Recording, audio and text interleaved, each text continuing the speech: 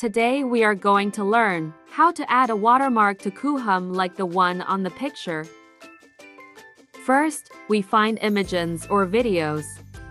After entering the interface, view the image we have rendered.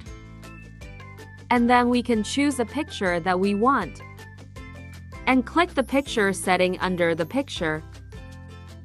Find the brand watermark on the top left and click Re-upload. We will be redirected to the settings page.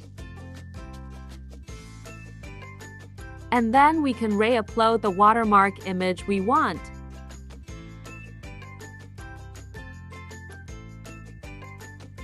Then we return to the image editing page. Update to the latest uploaded picture. We need to adjust the watermark.